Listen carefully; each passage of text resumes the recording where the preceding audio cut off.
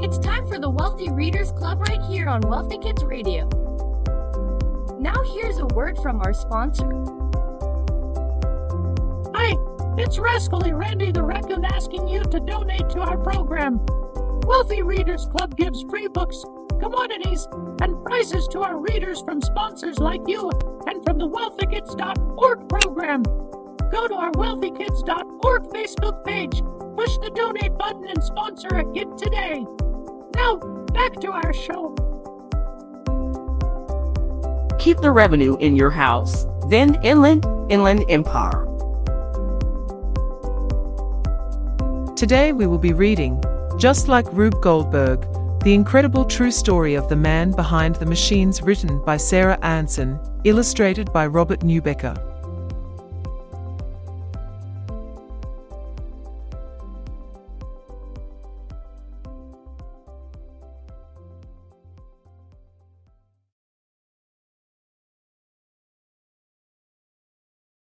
Just like Rube Goldberg, the incredible true story of the man behind the machines, written by Sarah Aronson, illustrated by Robert Neubecker. Question. How do you become a successful, award-winning artist and famous inventor without ever inventing anything at all? This is not a trick question. A man named Rube Goldberg did it. In a funny way, his life was just like one of his famous inventions, an improbable and inefficient chain reaction that ends up making perfect sense. From the time he was a boy, Rube Goldberg loved to draw. We are not just talking about simple stuff here. As early as four years old, Rube traced the cartoons he found in his books. At seven, he took official art classes from a sign painter. Rube might have been a quiet boy. He might have been shy, but he was determined to be a great cartoonist for a big-time newspaper. Unfortunately, when he told his family, they were absolutely horrified, beyond dismayed. Rube's father, Max, had emigrated from Germany to America to give his family a chance for a better life. He didn't want his son to end up a beggar on the streets. So, to please his father, Max went to the University of California, Berkeley, studied engineering, and after graduation, got a job with the City of San Francisco Department of Water and Sewers. It was a good job. It paid well. That could have been the end of the story. Right? Wrong. Rube detested shoveling tunnels in mines 2,000 feet underground. He didn't enjoy mapping sewer pipes either, and he wasn't very impressed with the city's government. Rube still wanted to draw comics for a big-time newspaper. So after six months, he quit engineering and started over. He got a job at the San Francisco Chronicle. For $8 a week, Rube emptied wastebaskets, cleaned floors, and filed photographs in the document morgue. And whenever he had the chance, Rube drew and drew and drew.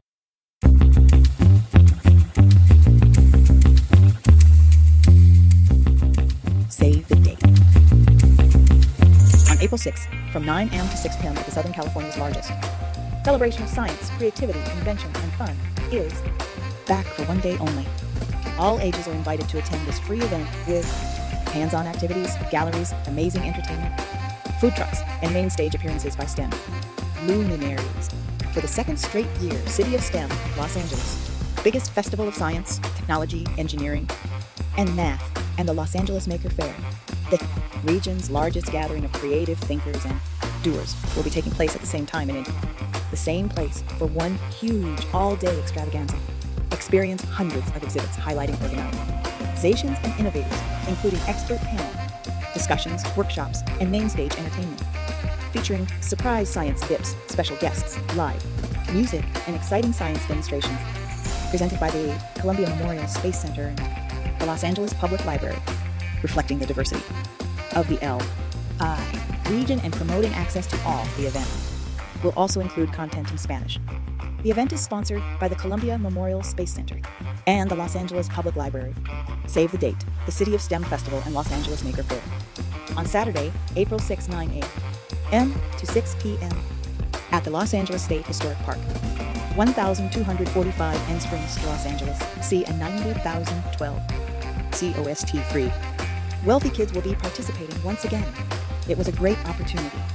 I am looking forward to new teams this year. Wealthy Kids will be participating in the Los Angeles Makers Faire once again this year with the introduction to art design by AII. With Wealthy Kids and Teens tech lessons powered by Connected Nation and AT&T. This is your host, Shauna A.I. Created by Wealthy Kids founder Shauna D. Ramos, powered by Jenny AI. We hope to see you there. Day after day, Rube submitted his cartoons to the editor. Night after night, the editor mostly said no. When he said yes, Rube sometimes got paid, but other times he just got out of the office tasks he didn't like to do. After a year, Rube convinced the sports department of the San Francisco Bulletin to hire him, and after that, he was a little more successful. He developed his style. The paper ran his cartoons. A column, too. This might have been the next end of story, but then the ground shook, literally. The 1906 earthquake in San Francisco crumbled the city and left many people without jobs and homes. In the wake of the disaster, it can be hard for people to focus on their dreams. It can be even harder to feel hopeful. But Rube didn't give up on his dream. Instead, he did the only thing he could do. He drew comics to cheer people up. And then he made a big decision. In 1906, there was only one place where a guy like Rube could really make it big. It was the place he called the front row, the cartoon capital of the country, New York City. So he got on a train and headed east. He didn't have much $200 and a diamond ring. The ring was a gift from his father, just in case Rube needed to sell it to buy a ticket back home.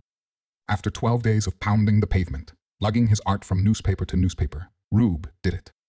He got a job as a cartoonist at a big-time paper, the New York Evening Mail. He had made it. Right off the bat, Rube became a celebrity. Readers couldn't wait to see what he had to say about all kinds of things, like sports and politics, and the silliness of everyday life. But maybe more than anything else, everyone loved reading about Rube's alter ego, Professor Lucifer Gorgonzola Butts.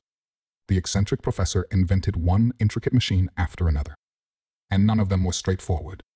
In fact, they were the opposite of straightforward and often disregarded the laws of physics. Although this was the age when new machines were being invented to make life easier. Rube's screwball contraptions purposefully solved problems in the most surreal and ridiculous ways. Things like, how do you put holes in donuts? Or, how do you turn off a light? Or even, how do you cut your own hair? Just like the machines he studied in engineering school. These complicated contraptions required lots and lots of parts. And they always worked on paper, of course. They weren't practical in the real world, but that was never the point. Rube Goldberg didn't draw machines that solved real-world problems. He drew comics to make us look closer, and question logic, and tickle the imagination. And because of that, these machines accomplished something astounding and even more important than any pile of nuts and bolts ever could. They challenged people to use the amazing machines in the universe, the brain. So let's take it from the top. Rube Goldberg became stubborn, smart, serious about being funny engineer, office boy, cartoonist, commentator, comic genius, and award-winning artist and inventor whose name is now an adjective in the actual dictionary without inventing a thing. Is this kind of a thing possible? You bet it is. Figure out what you want. Work as hard as you can. And most of all, have a great time getting there, just like Rube Goldberg. Oh, that was great! Now that's the end of our show. Stay tuned for the next Wealthy Reader segment and learn about children's finance literacy through the reading of books. I hope to see you there. This is Rascally Randy the Raccoon signing off. Happy trails! again. Happy trails